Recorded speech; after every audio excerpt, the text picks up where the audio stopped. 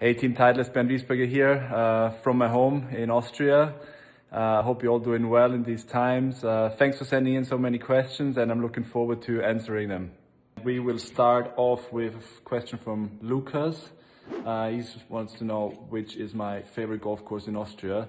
Um, got actually quite a lot of really good golf courses here in Austria. Unfortunately, we got a shorter season with um, you know some some uh, stronger winters, but uh, the favorite, if I had to pick one, would be a golf course um, near Graz. It's called uh, Murhof.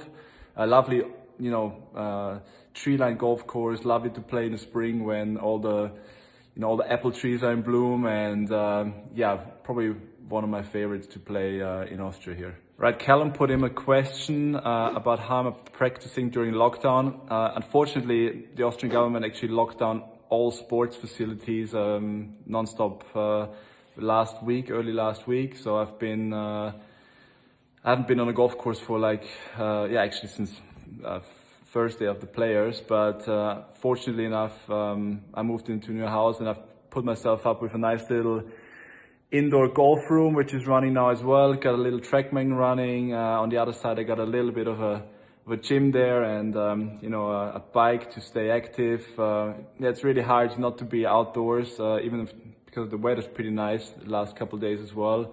Uh, but, you know, uh, we all got to do what we got to do and uh, trying to uh, make the best out of it. So fortunately enough, I've got like a little swing studio here where I can work a little bit on my game um, while the golf courses are shut down here. Maxu and Miki uh, want to know my favorite golfing moment. Um, had a few really nice golfing moments in my career so far. Uh, but one probably tops all of them, which was uh, me winning uh, my home championship in Austria in 2012. Um, was my uh, my second win on European Tour.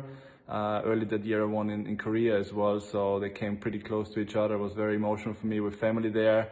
Um, what topped it up as well was my grandfather passed not too long before that, so it was very emotional. Um, obviously winning at home is always nice, but that was, um, you know, very special and uh, I enjoy, you know, thinking back to that moment uh, every now and then. Right, so James wants to know uh, which my favorite club in the bag is right now. Um, I've got my golf clubs set up here at the uh, swing studio and I've got to say, um, I got a couple new wedges in, uh, uh in Florida the other week.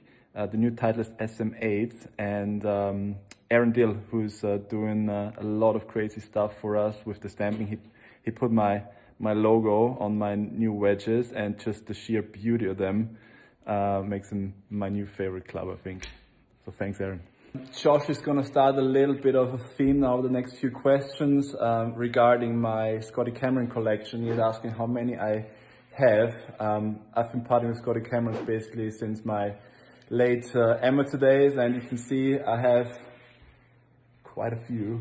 Uh, I'm quite proud of these actually. These are all the major head covers unused uh, on a nice shelf. That's really nice. Um, these are most of them, but not all of them. My gamer's in the golf bag over there, and I've got a few more in my garage. Um, I would say right around 50 probably, guys. Yeah, um, it's crazy. Um, but I love them. What a craftsmanship, uh, and also what a great performance. So I've used most of them in tournaments.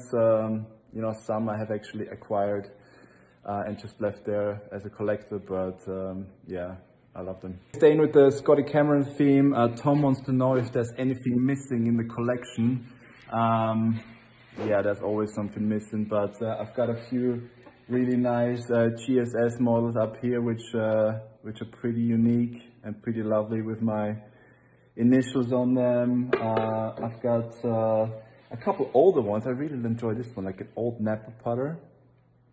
I love that one. Um, there's a few of the, you know, of the older models that I, uh, I would like to find at some point. Um, obviously for me playing a, a mallet, I, um, I, you know, appreciate the, um, the newer technologies and how it helps us roll the ball better. Um, but I really love the look of, of an old blade and the old uh, designs as well. So uh, I always keep my eyes open and see if I can find some new uh, new beauties for the wall. Okay, Henry wants to know uh, about my wedges, um, the loft in them. Um, a couple years back I was playing four wedges. I've then switched back to three. I've got a 59, a 53, and a 46 pitching wedge, all customed up by the boys at um, Vokey, Aaron, and the guys in Europe hooking us up with great stuff. And that's been the setup I've been playing for, you know, a lot of years now. Worked out well. Nice question here. Which was personally a more satisfying year, 2012 or 2019? 2012 was the first year where, uh, the year where I first won uh, on European Tour and obviously 2019. Uh, last year was a great year for me, winning three times. Uh, tough to pick. Um, obviously last year was very emotional, winning uh, three times uh, on tour after a year off with injury. But I probably will have to go still with 2012 when I, when I first won out on tour, um, two times actually in a short span. Um, I think it was the first year I actually qualified for uh, the year-end uh, race to Dubai as well. So that was a cool year and um, great memories from them. And uh, yeah, I'd have to go with 2012 on this one, I think. Okay, Steve wants to know uh, if I've got any superstitions um, before a round of golf.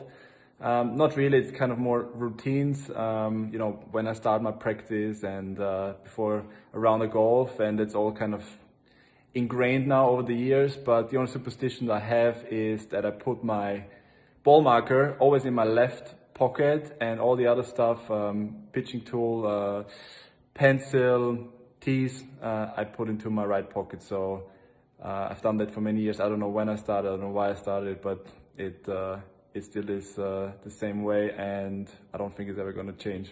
All right, I would uh, love to have uh, that problem. Troy wants to know uh, if I would prefer having a downhill left to right or right to left putt to win the Open Championship, and my answer would have to be I'd take any putt, doesn't matter from where it is, to have a chance to win the Open Championship. But if uh, you would hold a gun to my head, I would probably actually go for a right to lefter.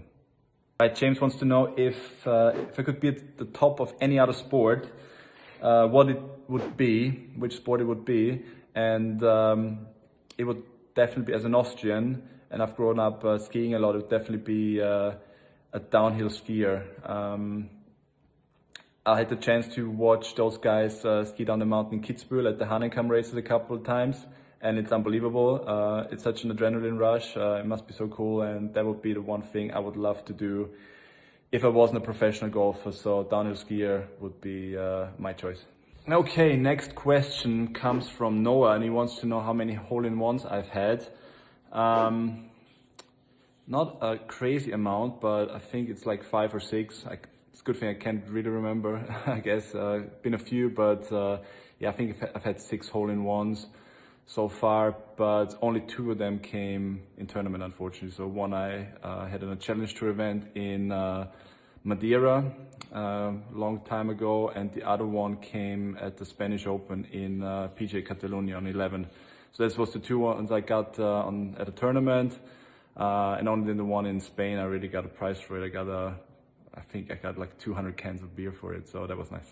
All right, Jordan wants to know um, what I do if I get nervous or how I control my nerves. Um, well, first of all, I enjoy being nervous. It means that I care and, and uh, I look forward to uh, what's happening out on the golf course. You know, after I think that first tee shot is out there, um, they start to settle rather quickly. But, um, you know, I think we all out here on, on, on, tour, all the professionals still get nervous every now and then. Good thing, um, embrace it, enjoy it and you know maybe get yourself into um, high pressure situations and practice a little bit um, you know where really try to make it maybe um, finish a drill or finish a, a, task and you get a little bit nervous as well even though it's only practice and um, that helps to uh, settle in quicker as well with your nerves um, when you've got a scorecard in hand. So you want to know what has been the best piece of, of advice from someone about life on tour. I mean, guys, you know, we are very fortunate to do what we do. Um, it's a lovely job, best job in the world. Um, it's actually not a job because, uh, you know, uh, it's a hobby turned into my profession in a way. So um, I think the best thing you can do is just enjoy it, enjoy the ride, enjoy being out there, be competitive. Uh, and um, yeah, I think that was the best piece of advice was given to me early in the the challenge two years uh, when we were traveling, you know, South America on, on challenge tour and uh, uh, it was good times uh, and still enjoy it. Obviously, sometimes a little bit uh, frustrating out on the golf course, but that doesn't mean that I don't enjoy uh, the ride and, and the possibility to play professional golf. Harry uh, sent a question in and he wants to know the hardest part of being a professional golfer that people often don't realize. And um, for me, that's uh, quite simple actually answered. I really hate waiting, hate waiting around, hate losing time and obviously uh, traveling and being at the airports and trying to get con connections and uh, you know being there before your um, plane departs uh, is probably the one thing I could uh, get rid of the easiest. Um, but apart from that, I really love what I do. Uh, it's great uh, great and the best job that you could have in the world. So not much else, but you know, I could do with shortening those waits at the airport for sure. Okay, Henry, I don't know why you want to know what's in my fridge, but here you go. Um, in the freezer, bit of frozen fish, yeah, a bit of ice cream, I'm not gonna lie, a couple of frozen uh, um, vegetables, and on the other side, I actually need to go shopping today, so not too stocked. A couple eggs, pretty basic, butter, I'm running out of this. A lot of cheese here, I love cheese in the evening. Uh, bit of fruit, um, bit of meat down there and veggies down in the bottom. So actually it looks pretty stacked, but I need to get shopping later on. All right, guys, uh, thanks for sending in your questions. Thanks for Titleist uh, to check in for a quick Q&A. I hope you enjoyed it. Make sure you stay at home. Uh, let's get through this. Yeah, thanks for having me. Hope to see you out on the golf courses very soon and take care. Bye-bye.